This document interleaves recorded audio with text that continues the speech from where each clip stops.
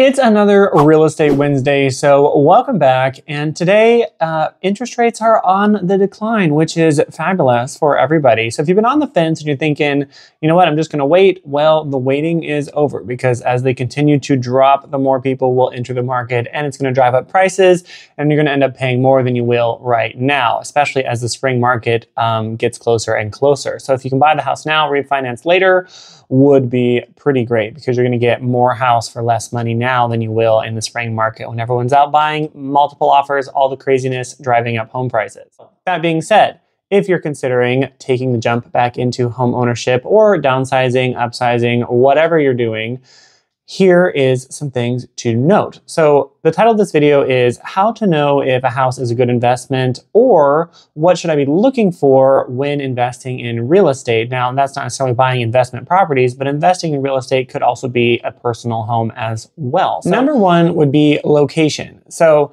what you're going to want to look for is just start with the school district. That's a good telltale sign of us if it's a good area or not get on Google or go to the school board, interview them, and see, you know, what are the average test scores?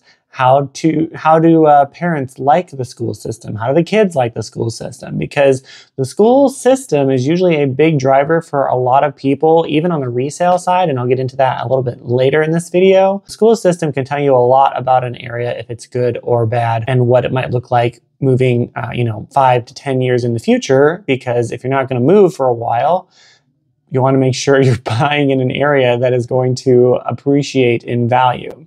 So another big one would be um, going to city council meetings. Find out what the plans are for the area. You would hate to buy a house only to find out in the next couple years they're planning on putting in like an entire strip mall right in your backyard.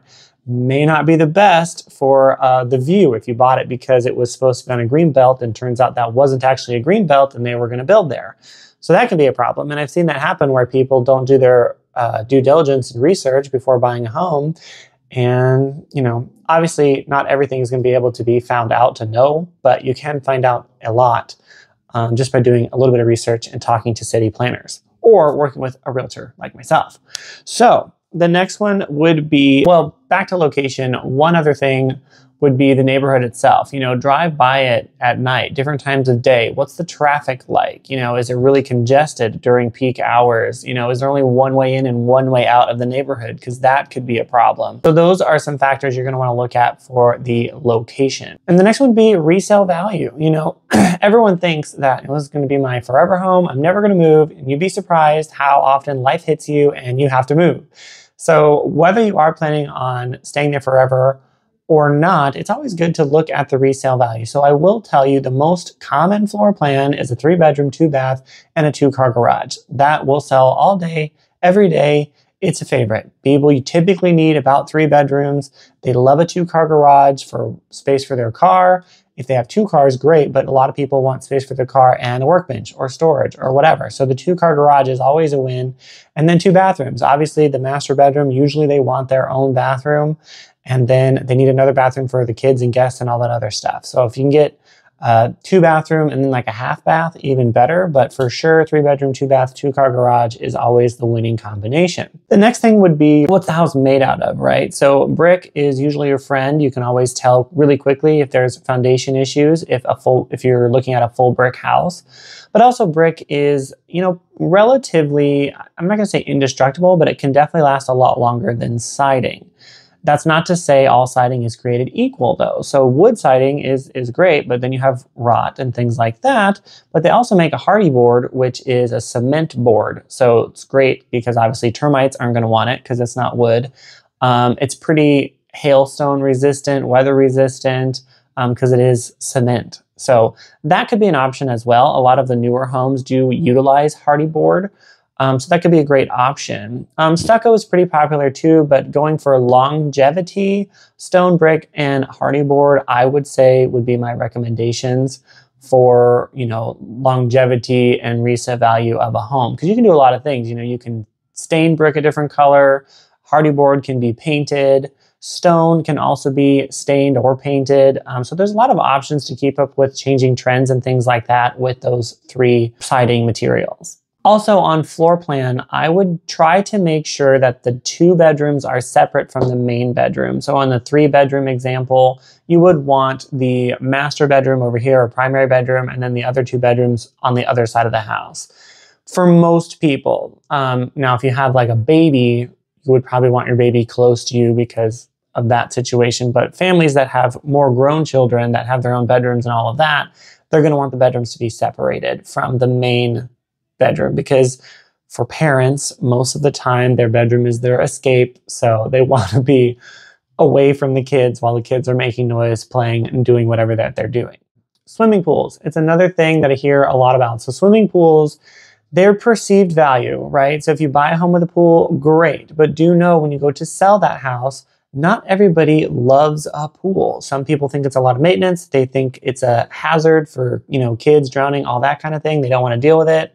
So pools can be great, um, but it really depends on the price point as well. So more in the luxury market, a lot of people like to have pools because it's an aesthetic thing. It's a party thing. It's a hosting thing. You know, it's a not necessarily a status thing as much as it is a luxury amenity in the sense of most smaller homes don't have pools, but the more luxury homes will have a pool. And that's just kind of how, how they're designed. But also look at the neighborhood. You know, if every house in the neighborhood, for the most part, has their own pool, probably going to want the pool because it's a common thing for that neighborhood.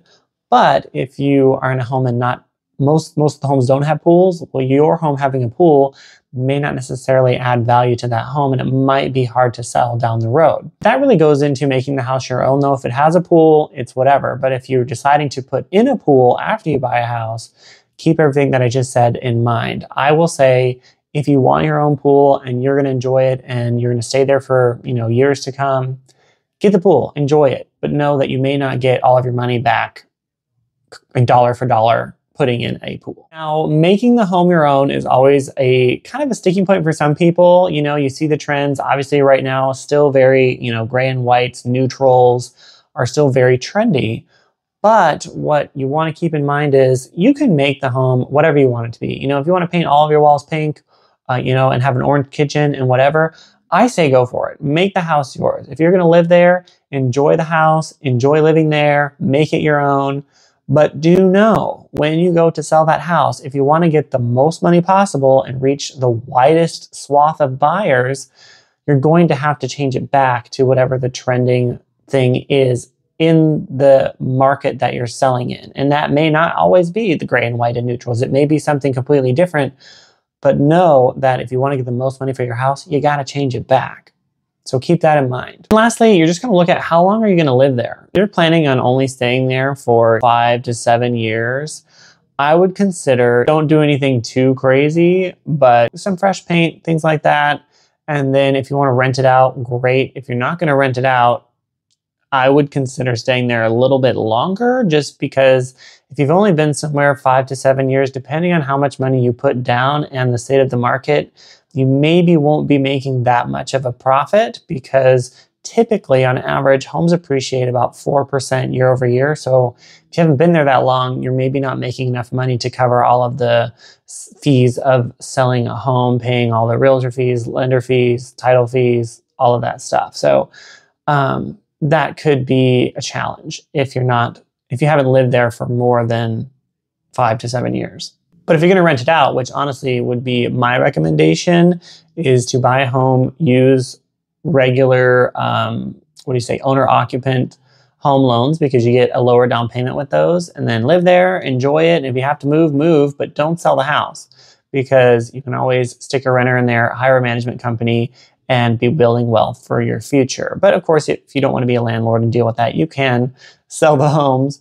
But I would think generally speaking, the more real estate that you own, the better, uh, more financially uh, well off you're going to be because real estate, you know, they're not making any more of it. You know, buy dirt, buy real estate. People are always going to need a place to live. So it's always a good investment to invest in real estate and hang on to as much of it as you can. That's really all I got for you today. So hopefully you learned something. Share this video with a friend who might find it helpful. Of course, follow me for more real estate tips. And on this channel, I also share, share a lot of um, local content as well cool places to go and just a lifestyle in Oklahoma. So I hope you guys have a great day and I will see you in the next video.